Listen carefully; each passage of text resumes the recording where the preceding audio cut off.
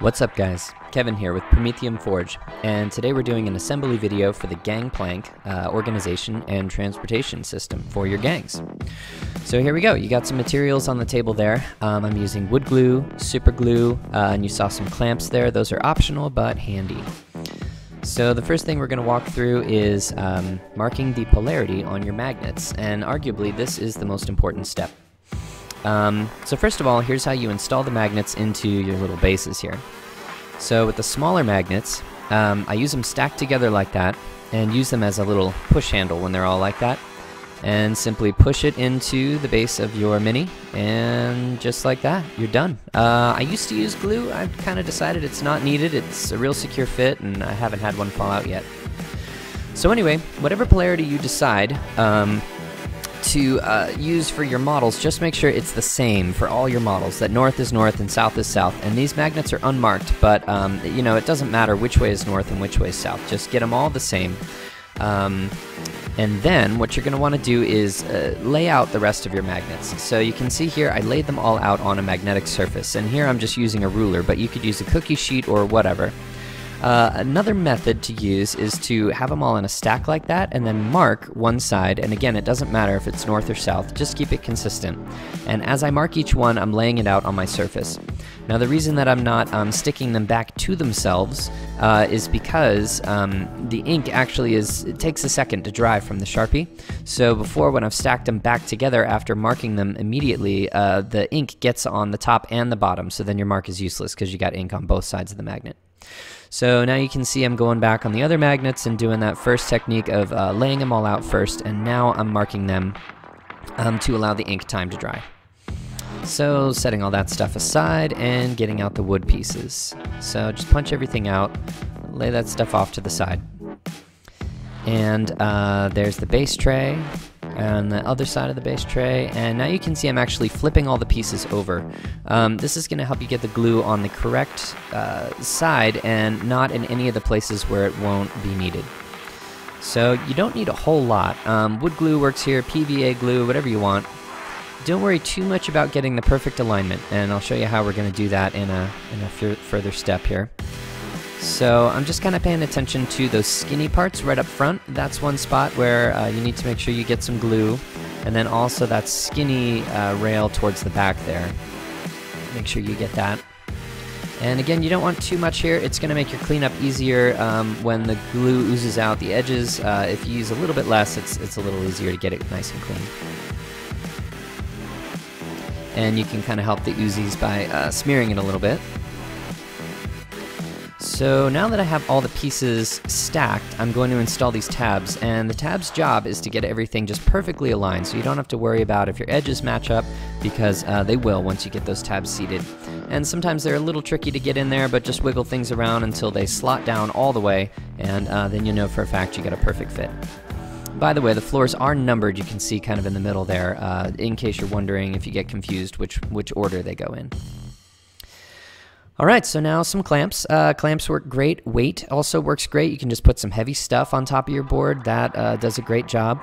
Um, the main place where the oozing glue matters is where I was just cleaning in the, the base tray up there. Um, everywhere else, it kind of doesn't matter. It's just cosmetic if you get it out of the way.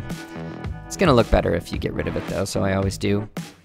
And then a good tip is to uh, clamp your stuff for just a minute, and it's going to make the glue um, ooze just a little bit more. So then you can go back and clean it up, and, and you're good to go. Alright, with your base tray here, just go ahead and punch out all those little circles. Now you'll notice there's 13 of them, and you're probably only going to use 10 or 9, depending on how big your gang is. So those circles do slot back, uh, and they do have texture on them, so they're going to look good if you, you know, use them as plugs to, to plug those circles that you're not using. Um, so keep track of those things. And then this one works kind of similarly to the other uh, parts where these tabs are going to make your alignment perfect. So get those tabs seated in there, and these ones come up from the bottom, so that way when you pull them from the top, because they're also your pull handles, uh, they don't rip out of there. So then um, just make sure your glue is nice and clean in those base circles, and mostly a cosmetic thing. Your bases are still going to fit even if there's a little bit of glue on the inside there. And uh, clamping is also a good idea for that piece. I'm just testing the fit. There you go, looks good. And um, do clamp that piece though. All right, so now I am gluing the magnets into uh, the MDF. So the concept is I'm creating kind of a well for the magnet and it just slots right down in there. And for this build, I've chosen the black side, the marked side of the magnet to go up. Again, I don't know if it's north or south, I don't care, but as long as it's consistent, you're good to go. So the magnets are a pretty tight fit. Um, I just squeeze some super glue into that well and then just squish the magnet down in there and that makes the super glue come up to the sides and coat the bottom and, and everything looks great. Um, here you're going to see an older technique that I used for gluing the magnets into the bases, and I don't recommend this as much anymore. Uh, you'll see I used glue and I'm pushing them in there one by one. It's kind of tricky, um, so yeah, not necessary with the glue. And there I'm using a little stick to seat that magnet. Um, you can glue them in there if you want, you'll get a stronger fit. It's all good. Um, and you're going to see me test the polarity, so that's really important. I just tested to make sure I got the, the magnet in there in the right way uh, with north and south facing the right directions. So now I'm getting ready to um, put the magnets into the baseboard and you'll see I flipped it over so now I'm, I'm working on the bottom of it and I'm putting these stickers uh, because these are what are, are going to create the bottom of that uh, well that we'll put the glue in that we want to squish the magnet into. Now I'm just using these label stickers. I got them for a couple bucks, uh, I think, at the grocery store. Uh, but you could use tape, scotch tape, masking tape, whatever. You just want to give yourself a little bottom to push against with the magnet. And while I've got the thing flipped over, I'm just installing the magnets on the bottom, and these are what keeps the, uh, the base tray, the gang tray, um, attached to the main board. So I got those installed, and you notice I won't test this for polarity because that would pull the magnets out of there while the glue is still wet, so I'm just going to set that aside. And now I'm going to go ahead and install the magnets for each one of my ganger bases. And again, just a little drop of super glue. And uh, when I put the magnet in there, that super glue will squish out to the sides and it really does a great job of holding it in tight. So now here come the magnets. Um, sometimes it's a pretty tight fit, so you have to go back and I use a little push rod so I don't get the glue all over my fingers, but you could just push them in there with your thumb if you don't care about super glue on your fingers. And again, just making sure that I'm consistent. All the black sides are up, so that should mean that all my gangers fit and stick. So just getting a nice seated fit for all that magnets. You really don't want them sticking up because then your, uh, your models will be a little wobbly, less satisfying, less clicky. Get them seated in there.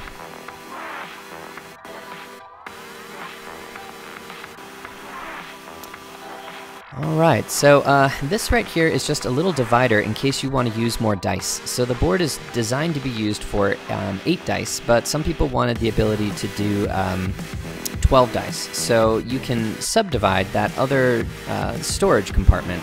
Um, and by creating this little divider, which is optional, you could then just glue it in wherever you want to uh, have a different amount of dice. So here you can see it's set up for 8 dice, but you could use the next compartment over to have 12 dice and then put your tokens, you know, in the remaining spaces. Alright, and if you purchase the extra display stand, uh, those columns slot together. I won't really show you how to do it, it's pretty simple. Magnets on the top and bottom, you know the drill. So those columns will end up looking like that once assembled. And when you want to set up your uh, gang board for display, just magnet them right to the bottom in those magnets that already exist for holding your base tray to the main board. And there you have it. Alright, well thanks for watching this video from Promethium Forge. Uh, this product and many more are available at promethiumforge.com. And if you want all the latest updates and latest product uh, release information, be sure to go like us and follow us on Facebook. So happy gaming, and thanks for watching.